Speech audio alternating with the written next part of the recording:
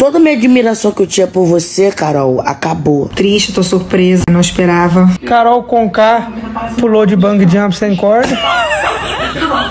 Não, mas foi mal, hein? Foi mal demais. E aí, seja bem-vindo ao canal do Coquinho. E olha, pessoal, nesse vídeo a gente vai falar um pouquinho da Carol Conká, ela que tá afundando a imagem dela aqui fora, né, gente? Ela nem tem ideia do dano que ela tá causando para a imagem dela como artista, como pessoa, né, devido às atitudes. Você que é novo aqui no canal, inscreva-se, ativa o sininho das notificações, deixa seu comentário aí também falando o que você acha da Carol Conká. Você que não concorda com a Carol Conká, deixa o seu like aí no vídeo pra gente saber, tá bom? A Carol Conká, gente, ela sempre levantou a bandeira do feminismo, do racismo e está sendo considerada completamente tóxica, abusiva, preconceituosa, manipuladora. Além disso, está sendo considerada a grande vilã dessa edição do BBB. Carol, ela tinha quase 2 milhões de seguidores no Insta, já perdeu mais de 300 mil. Também foi suspensa de seu programa Prazer Feminino do canal GNT. Teve também, olha só, presença cancelada no festival pernambucano Hack Beat. Também um fã-clube grande decidiu deixar de apoiá-la e desativou o perfil que tinha no Twitter. Segundo o levantamento feito aí pela Forbes, gente, a Carol Conká ela pode ter um prejuízo de mais ou menos 5 milhões de reais. Englobando aí, né, ela como digital influencer lá no Insta, vai perder muitos anunciantes, shows, muita gente não vai querer contratar a Carol Conká, porque o público vai ter uma rejeição aos shows, programas de TV também ela vai deixar de participar, porque ninguém vai querer ver ela lá assistindo, né? Somando tudo isso, ela pode ter um prejuízo mais ou menos aí de 5 milhões de reais, considerando que ela leve um tempo de mais ou menos 6 meses aí para recuperar a imagem, gente. Para você ter uma ideia, gente, mais ou menos duas postagens patrocinadas no feed ali da Carol Conká, que ela costumava fazer em média ali por mês, geravam cerca de 48 mil reais de lucro aí para ela. Além disso, em cada show a Carol Conká faturava mais ou menos aí 150 mil reais, somando mais ou menos quatro shows aí no final de semana. Os ganhos dela envolvendo redes sociais e aparições devem girar em torno de 648 mil reais por mês, mais ou menos, segundo especialistas calcularam. Se ela estava planejando usar o BBB como forma de impulsionar os seus shows e contratos publicitários, é importante salientar que ao sair da casa com a reputação tão prejudicada e com shows já cancelados, ela ainda deve levar um tempo para recuperar esse ritmo de trabalho, porque os shows já estão cancelados e não vai retomar os ganhos aí como tinha antes do programa. Ou seja, gente, ela vai entrar ganhando menos do que ela ganhava. Lembrando, gente, que vários artistas foram contra a Carol Conká, né? Marília Mendonça, Emicida, Anitta, Neymar, inclusive a Jojo Todinho também se pronunciou todos contra a Carol Conká. A assessoria da Carol Conká faz diversas publicações lá no Instagram, tentando explicar, né? Enfim, mas as pessoas não estão dando muita moral, não. Sem dúvidas, né, gente? A Carol Conká vai ter um grande desafio, um desafio gigantesco de reconstruir a própria imagem pública. Ela vai ter que usar estratégias aí de marketing para voltar ao reposicionamento no mercado. Eu não sei não, gente. Eu acho que ela conseguiu prejudicar a carreira mais ou menos assim como o Biel naquela época, né, que se envolveu naquela polêmica e tal,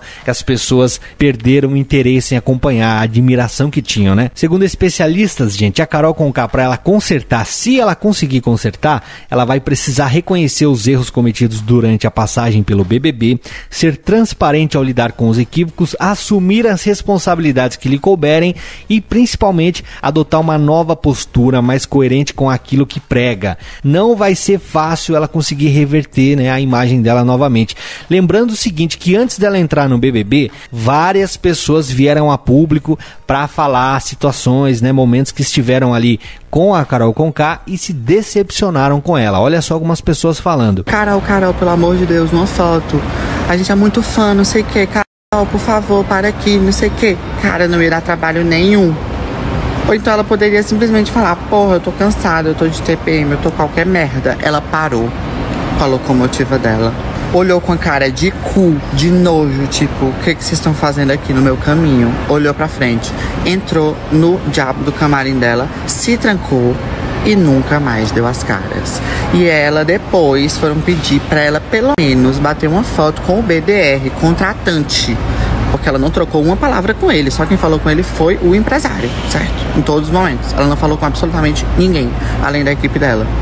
E tipo, quem és tu, cara? Tu é uma pessoa que prega muita coisa nas tuas músicas, umas coisas muito massa, muito foda, de inclusão, de minoria. Na frente das câmeras é muito fácil militar.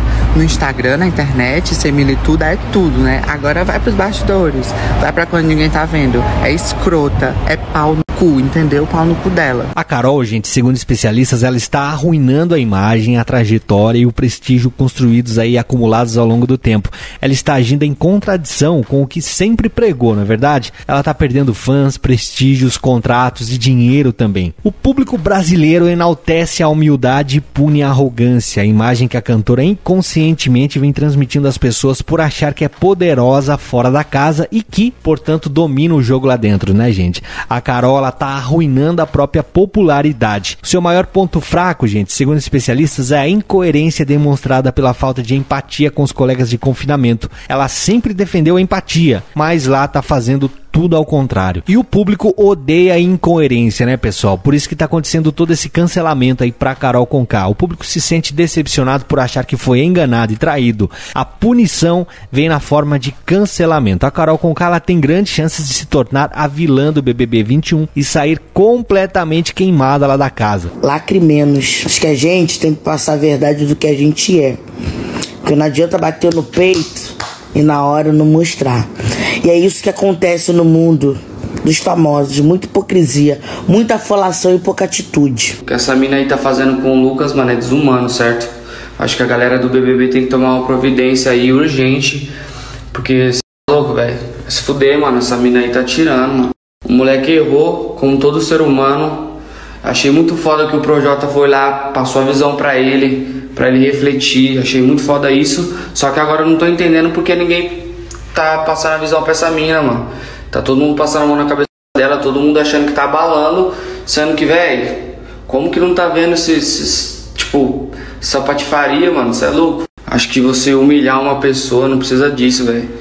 Acho que assim, todo mundo, volta a repetir.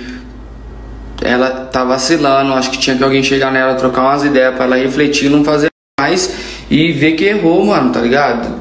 O que eu tô mais indignado é que tá todo mundo, tipo, aplaudindo e tá, tipo, ela tá achando como? Caralho, sou pica. Oh, cara. Muita reclamação dessa tal de Carol Conká e dessa tal de Lumena, que é baiana, negra.